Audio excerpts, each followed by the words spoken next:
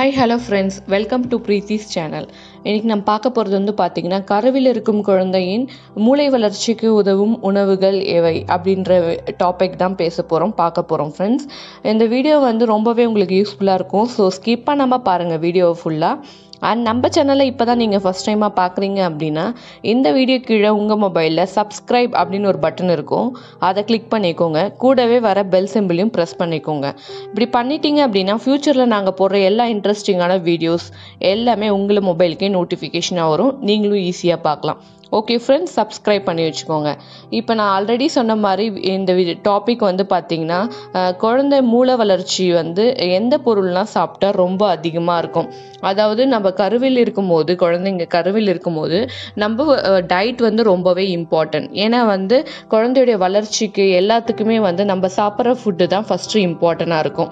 அதனால் நீங்கள் வந்து மூளை வளர்ச்சிக்கு தனியாக பொருட்கள் இருக்குது ஸோ அதை தான் இந்த வீடியோவில் நாங்கள் சொல்ல போகிறோம் ஸோ அந்த பொருள் பொருள்லாம் என்னென்ன அப்படின்னு பார்த்து வாரத்துக்கு ஒரு மூணு நாலு நாள் சாப்பிட்டுட்டே வாங்க.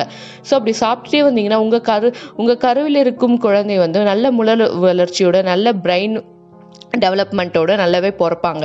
ஸோ அதுக்கான டிப்ஸ் தான் இது. ஃபஸ்ட்டு வந்து பார்த்தீங்க அப்படின்னா உங்களுக்கு தெரியும் வாட்டர் வாட்டர்மெலன் சீடு அப்படின்னா என்னன்னு உங்களுக்கு தெரியும். ஸோ அதுதான் வந்து ஸோ தர்பூசணி விதைகளை சொல்கிறோம் ஸோ தர்பூசணி விதை வந்து நீங்கள் பார்த்துருக்கீங்களா? ஃபஸ்ட்டு அது வந்து நம்ம சாப்பிடும் போதே தெரியும் கருப்பாக இருக்கும். அது நம்ம பார்த்துருக்கோம். ஸோ தர்பூசணி விதையை வந்து பதப்படுத்தி விற்பாங்க பேக்கெட்டில் போட்டு. ஸோ அந்த தர்பூசணி விதைன்னு சொல்லிட்டு விற்பாததை வாங்கிக்கோங்க. வாட்டர் மெலன் சீடு ஸோ அதை வாங்கிட்டு நீங்கள் என்ன பண்ணுங்கன்னா இது எப்படி சாப்பிடணும்னு நிறைய பேருக்கு தெரியவே தெரியாது. அதனால அதுக்கு நான் இப்பயே உங்களுக்கு இந்த இன்ட்டு வந்து கொடுத்துட்றேன். ஸோ இதை நீங்கள் வந்து நல்லா ட்ரை ரோஸ்ட் பண்ணிக்கலாம். நான் ரெண்டு ஆப்ஷன் சொல்கிறேன் நல்ல ஃபஸ்ட் ஆப்ஷன் வந்து நல்லா ட்ரை ரோஸ்ட் பண்ணிக்கோங்க.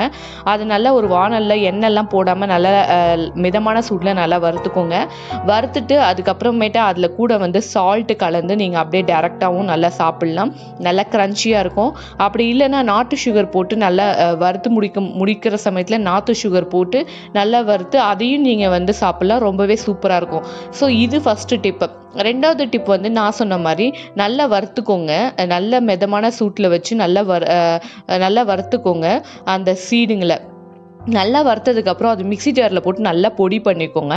ஸோ பொடி பண்ணிவிட்டு இந்த பொடியை நீங்கள் இட்லிக்கோ இல்லை தோசைக்கோ அந்த மாதிரி லைட்டாக உப்பு போட்டு அந்த மாதிரி நீங்கள் சாப்பிட்டுக்கலாம். ஸோ இந்த பொடியில் வந்து நீங்கள் இந்த பொடி சாப்பிடும்போது அப்படியே டேரெக்டாக கூட வாயில் போட்டு சாப்பிடலாம் அந்தளவுக்கு ஒன்றுமே ஆகாது.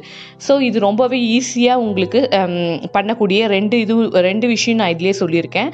ஸோ நீங்கள் இந்த மாதிரி சாப்பிடுங்க. ஸோ வேறு ஏதாவது விதமாக உங்களுக்கு தெரியும் அப்படின்னா வாட்டர்மெலன் சீடை நீங்கள் அப்படி எடுத்துக்கலாம். குழந்தையோடைய மூளை வளர்ச்சிக்கு ரொம்பவே உதவும். அது ரொம்பவே உங்கள் குழந்தைய வந்து ஃபாஸ்ட்டாக மூளை வளர்ச்சி வரத்துக்கு வைக்கும். ஸோ இது எவ்வளோ சாப்பிட்ணும் அப்படின்னா ஏழு மில்லிகிராம் சாப்பிடுங்க. ஒரு வாரத்துக்கு நீங்கள் வந்து ஏழு மில்லிகிராம் எடுத்துக்கிற மாதிரி பார்த்துக்கோங்க. ஸோ ஆல்ரெடி நம்ம கிச்சனில் நிறைய வீட்டில் வந்து அளவு மிஷின் வச்சுருப்போம். அப்படி இல்லாதவங்க மெஷரிங் கப்பில் வச்சு ஏதாச்சும் அளந்துக்கோங்க. செவன் மில்லிகிராம் சாப்பிட்டுட்டு வந்தீங்க அப்படின்னா உங்கள் பேபியோடைய டெவலப்மெண்ட் பிரெயின் டெவலப்மெண்ட்டுக்கு ரொம்பவே ஹெல்ப்ஃபுல்லாக இருக்கும். இது நேச்சுரலாக உங்களுக்கு எல்லா இடத்துலையும் கிடைக்கக்கூடியது. அண்ட் அதுக்கப்புறம் வந்து பார்த்தீங்க அப்படின்னா கீரை. ஸோ கீரை வந்து எந்த கீரை இருந்தாலும் பரவாயில்லைங்க. எல்லா கீரையிலையும் அயன் சத்து இருக்குது இதில் வந்து பார்த்திங்கன்னா ஆன்டி ஆக்சிடென்ட்ஸ் அதிகமாக இருக்கிறதால உங்களுடைய குழந்தையோடைய பிரெயினை ரொம்பவே ஃபாஸ்ட்டாகவும் சூப்பராகவும் டெவலப் பண்ணுறதுக்கு ஹெல்ப் பண்ணுது. அதனால நீங்கள் கீரை உங்கள் டயட்டில் மத்தியான டைமில் ஒரு நாள் விட்டு ஒரு நாள் பொரியல் பண்ணி எடுத்துக்கோங்க. சில பேருக்கு கடைஞ்சி சாப்பிட்டாங்க அப்படின்னா அது வந்து டைஜஷன் ப்ராப்ளமாக இருக்கும். அப்படி இல்லைன்னா டைரியா மாதிரியா இருக்கும். அதனால் நீங்கள் கடைஞ்சி சாப்பிட்றத விட பொரியலாக ஒரு நாள் விட்டு ஒரு நாள் எடுத்துக்கோங்க. அதில் அயன் ஆன்டி ஆக்சிடென்ட்ஸ் அதிகமாக இருக்கிறதால உங்களுடைய குழந்தை குழந்தையுடைய பிரெயின் டெவலப்மெண்ட்டுக்கு ரொம்பவே ஹெல்ப் பண்ணும். அண்ட் அதுக்கப்புறம் வந்து பார்த்தீங்கன்னா கீரையை வந்து நீங்கள் பொரியல் பண்ணும்போது தண்ணியெல்லாம் நிறைய ஊற்றி அதுக்கப்புறம் வந்து நல்லா வந்து அதை வேக வைக்கணும். வேக வைக்கணும்னு சொல்லிட்டு தண்ணி அதிகமாக ஊற்றிடாதீங்க ஸோ கீரையை போட்டோடனே தண்ணியெல்லாம் ஊற்ற வேணாம். அதில் இருக்க தண்ணி அப்சர்வ் பண்ணி அது வெந்துடும் அதுவே போதுமானது. ரொம்ப தண்ணி ஊற்றிட்டீங்க அது ரொம்ப ஓவர் குக் ஆகிடுச்சு அப்படின்னா அதில் இருக்க அந்த நான் சொன்ன அந்த அயன் சத்து ஆன்டி ஆக்சிடென்ட்ஸ்லாம் போயிடும். ஸோ கீரையை கழுவிட்டு அப்படியே போட்டு சிம்மில் வச்சு வேக வைங்க. இது உங்களுக்கு நீங்கள் பண்ணும்போதே தெரியும். ஸோ நிறைய தண்ணி ஊற்றிடாதீங்க இது மாதிரி பார்த்துக்கோங்க கீரை கண்டிப்பாக மத்தியானம் சாப்பிட்ற மாதிரி பார்த்துக்கோங்க நைட்டில் இல்லை காலையில் இந்த மாதிரிலாம் சாப்பிடவே கூடாது. அதுவும் ப்ரெக்னென்சி டைமில் ஸோ கண்டிப்பாக கீரையை நீங்கள் மதியம் சாப்பிடுங்க. அப்போ தான் உங்களுக்கு டைஜஷன் ப்ராப்ளம்லாம் எதுவுமே வராது. ஸ்மூத்தாக இருக்கும். குழந்தைக்கும் எந்த ப்ராப்ளமும் வராது. முருங்கைக்கீரை கிடைச்சிது அப்படின்னா டெய்லியுமே நீங்கள் சாப்பிட்லாம். அதில் எந்த விதமான ப்ராப்ளமும் இல்லை. டெய்லியுமே முருங்கைக்கீரை எடுத்துக்கிறது ரொம்பவே நல்லது. அதில் அதிகமான அயன் இருக்குது மத்தியான சமயத்தில் எடுத்துக்கோங்க. அதுக்கு அடுத்த பொருள் என்னன்னு பார்த்தீங்கன்னா முட்டை. ஸோ முட்டை வந்து ரொம்பவே ஈஸியான கிடைக்கிற பொருள் தான் அதில் வந்து பார்த்தீங்கன்னா ஃபுல் ஆஃப் ப்ரோட்டீன் அப்படி இருக்குது கேல் ப்ரோட்டீன் கொழுப்பு நல்ல கொழுப்பு எல்லாமே இருக்குது ஸோ இது உங்களுடைய குழந்தைக்கு பேபியோடைய பிரெயின் டெவலப்மெண்ட்டுக்கு ரொம்பவே ஹெல்ப் பண்ணும்.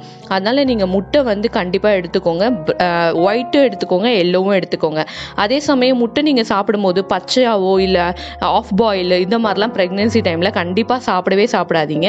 ஏன்னா முட்டையில் ஏதாவது கிருமி இருந்துச்சுன்னா நல்லா வெந்ததுக்கப்புறம் அந்த கிருமி எல்லாம் செத்து போயிடும். ஸோ நீங்கள் அப்படியே சாப்பிட்டீங்க அப்படின்னா உங்களுக்கும் உங்கள் குழந்தைக்கும் அதை பாதித்து ஏதாவது கிருமி அட்டாக் ஆகும். அதனால் அதெல்லாம் நீங்கள் கண்டிப்பாக ட்ரை பண்ணவே பண்ணாதீங்க. சத்து அதிகமாக வரும் அப்படின்னு நினச்சிட்டு பண்ணுவீங்க உங்களுக்கு தெரியாமல் அதனால் நீங்கள் பண்ணவே கூடாது. முட்டையை நல்லா பாயில் பண்ணி நல்லா வேக வச்சு தான் சாப்பிட்ணும். ஸோ இது ஒரு டிப்பு அதுக்கப்புறம் பார்த்தீங்க அப்படின்னா மீன். ஸோ மீனில் வந்து நான் ஆல் ஆல்ரெடி ஒரு வீடியோவில் சொல்லியிருக்கிறேன். மீன் வந்து ப்ரெக்னென்சி டைமில் கடல் மீன் மட்டும்தான் சாப்பிடணும். சாலமன்ற மீன் மட்டும் சாப்பிடுங்க அப்படின்னு.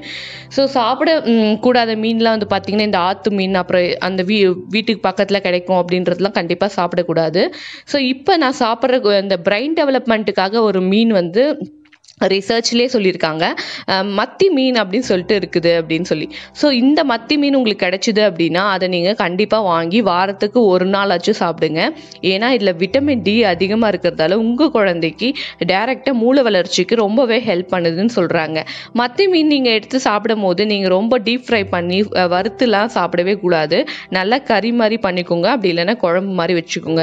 ஸோ இந்த மாதிரி மத்தி மீன் பண்ணி சாப்பிடுங்க ஃப்ரெண்ட்ஸ் அண்ட் அடுத்தது வந்து பார்த்தீங்கன்னா சக்கரவள்ளி கிழங்கு ஸோ சக்கரவள்ளி கிழங்குல நிறைய பீட்டா கரோக்கின் அப்படின்னு சொல்லிட்டு இருக்குது. அது ரொம்பவே உங்களுடைய குழந்தைக்கு பிரெயின் டெவலப்மெண்ட்டுக்கு ஹெல்ப் பண்ணும். ஸோ இதை வந்து நீங்கள் வந்து வேக வச்சு சாப்பிட்லாம். அப்படி இல்லை அப்படின்னா ஸ்வீட் பிடிக்கல அப்படின்னா காரம் மாதிரி பண்ணி கூட சாப்பிட்லாம். லைக் பொரியல் பண்ணி சாப்பிட்லாம். அப்படி இல்லைன்னா வந்து சப்பாத்தியில் அதை வந்து மர்ச் உள்ளார வச்சு நல்லா வந்து சாப்பிட்லாம். ஸோ நிறைய விதம் இருக்குது இதில். வள்ளிக்கிழங்கு வந்து உங்களுக்கு ரொம்பவே ப- பிடிக்கும். ஏன்னா அது ரொம்பவே ஸ்வீட்டானது தான். ப்ரெக்னன்சி டைமில் அதை வந்து நம்மளுக்கு வாமிட் சென்சேஷன் அது மாதிரி கூட வராது. இது நீங்கள் எடுத்துக்கிட்டீங்க அப்படின்னா.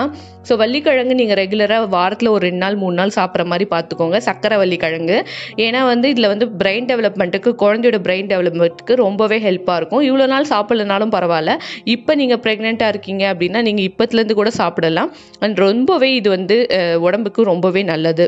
அண்ட் அதுக்கப்புறம் வந்து பார்த்தீங்க அப்படின்னா கிரவுண்ட் நட்ஸ் ஸோ இது வந்து உங்களுக்கு எல்லாருக்குமே தெரியும் வேர்க்கடலை ரொம்பவே ஈஸியாக கிடைக்கும். இதில் விட்டமின் இ e ஜாஸ்தியாக இருக்கிறதால மூளைக்கு வந்து ரொம்பவே வளர்ச்சி அடையுது பேபியோட மூளைக்கு. ஸோ நீங்கள் வந்து இதை சாப்பிடுங்க வேக வச்சு சாப்பிடுங்க. அப்படி இல்லைன்னா லைட்டாக வறுத்தும் சாப்பிடலாம். ஏன்னா வந்து இதை வேக வச்சு சாப்பிட்டா உங்களுக்கு ஃபுல்லான ஸ்ட்ரென்த் வந்து கிடைக்கும். பேபிக்கும் அந்த ஸ்ட்ரென்த் போகும். நீங்கள் அந்த மாதிரி பார்த்துக்கோங்க நிறைய குழம்புல போட்டு கூட சாப்பிடலாம். இதை வந்து வேர்க்கடையில் வந்து நீங்கள் அப்படியே டேரெக்டாக உடிச்சும் சாப்பிடலாம். ஏன்னா இது ரொம்பவே நல்லது. இது எந்த விதமான ப்ராப்ளமும் இல்லை. எந்த விதமான கிருமி அது மாதிரிலாம் நம்மளுக்கு எஃபெக்ட் ஆகவே ஆகாது. ஏன்னா இது நேச்சுரல் பொருள். அதனால் நீங்கள் இதை டேரெக்டாகவே எடுத்துக்கலாம். அப்படி இல்லைன்னா வேக வச்சு சாப்பிடுங்க. அப்படி இல்லைன்னா ஏதாவது ஒரு ஃபுட்டில் கலந்து குழம்புல கலந்து அந்த மாதிரி கூட சாப்பிட்டுக்கலாம் ஃப்ரெண்ட்ஸ் இந்த வீடியோ ஃபுல்லாக பார்த்தீங்க அப்படின்னா குழந்தையோடைய மூளை வளர்ச்சிக்கு நாங்கள் சொல்லியிருப்போம். எல்லா பொருளுமே ரொம்ப இம்பார்ட்டன்ட் வாரத்துக்கு அட்லீஸ்ட் ஒரு நாளாச்சும் எடுத்துக்கோங்க. அப்போ தான் வந்து உங்களுடைய குழந்தை பிரெயின் டெவலப்மெண்ட் ரொம்பவே ஜாஸ்தியாகவும் கரெக்டாகவும் இருக்கும். இதை நீங்கள் பார்த்துக்கோங்க ஃப்ரெண்ட்ஸ் ஓகே ஃப்ரெண்ட்ஸ் இந்த வீடியோ உங்களுக்கு ரொம்ப பிடிச்சிருக்கும்னு நினைக்கிறேன். பிடிச்சிருந்தா லைக் பண்ணுங்க உங்க ஃப்ரெண்ட்ஸ் அண்ட் ஃபேமிலிக்கு ஷேர் பண்ணுங்க. மறக்காம நம்ம சேனலை சப்ஸ்கிரைப் பண்ணாதவங்க சப்ஸ்கிரைப் பண்ணிக்கோங்க ஃப்ரெண்ட்ஸ் வேற ஒரு நல்ல கண்டென்ட்ல வந்து நான் உங்களை மீட் பண்றேன். அது வரைக்கும் take care be safe and bye bye friends